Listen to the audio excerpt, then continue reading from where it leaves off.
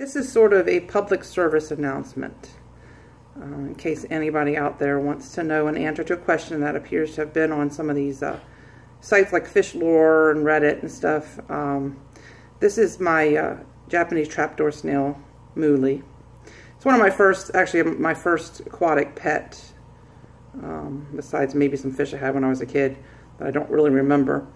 But um, he had a friend named Squibbly, and unfortunately Squibbly met to an accident. And Mooly has also been through the same traumatic experience but was not injured as badly. Um, I put a heater in, it's getting to be cold outside.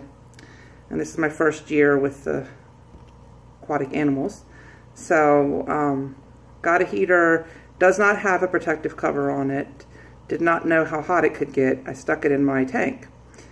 And um, what I think happened to both Mooly and Squibbly is that uh, they climbed up on the heater and it turned on and uh, learning how this heater is, I touched the bottom of it and it gets very hot. The top doesn't get so hot.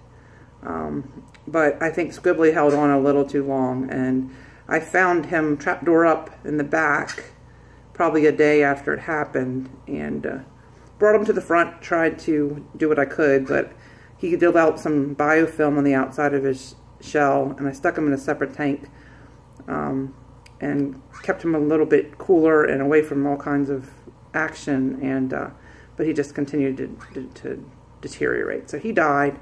Um, but Mooly had a shock. I found him also upside down with his trapdoor up near the heater, and. Uh, but he was not shocked as badly, and he was coming out of his shell and uh, doing things. He's been kind of hiding. I brought him out just now, and he's uh, doing better. I had to cover, I don't think you can really see, but the heater back there, I took a zip tie, and I covered it with part of a plastic water bottle just until I got an, on order a cover coming in.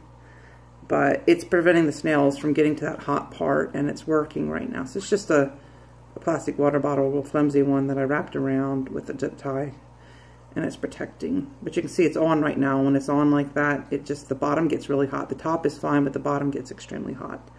Um, so yes, um, to all those people asking online, yes, you can burn your snails and kill them by putting a heater without a guard on, and they will crawl on it, and if they're not used to it, um, they will injure themselves. And um, it looks like this is particularly a problem with Japanese trapdoor snails. It may not be able to fill as quickly or recognize as quickly as maybe I have also my rabbits and my um, other uh, black devils in here, and they, they're okay.